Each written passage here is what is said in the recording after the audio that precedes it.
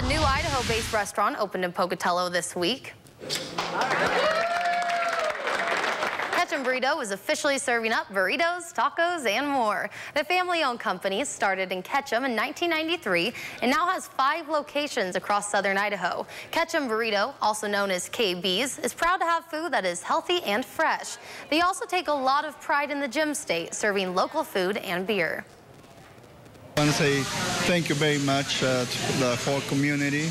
We have a very good uh, welcoming. We follow our passion. Uh, we concentrate on the healthy and local produce and meat.